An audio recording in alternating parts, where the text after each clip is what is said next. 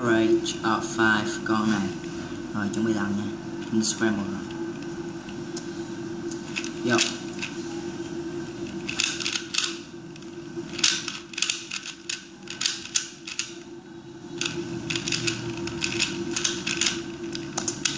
Một giây, hai mươi bảy.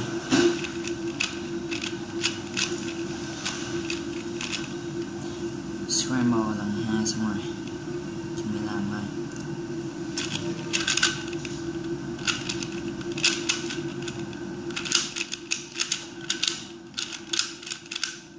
con này sẽ có đã chơi lâu cái lock cấp vậy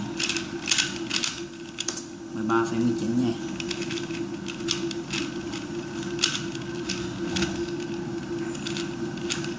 Rồi scramble lần ba xong.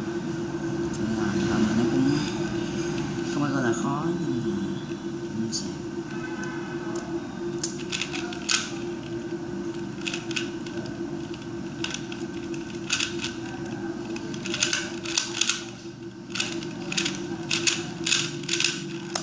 mà nó me vậy. Để xem.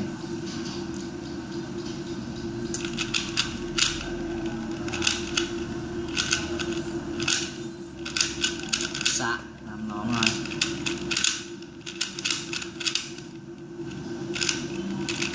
Lại gặp vào ngay, trường hợp khó. Mình chỉ phải ba sáu giây thôi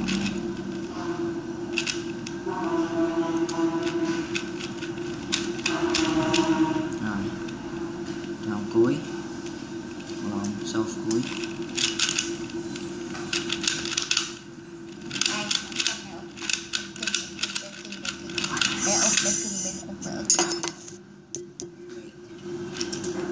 Đó là dưới 10 giây đấy, nhưng mà tại do sơ xuất thôi. Bye bye.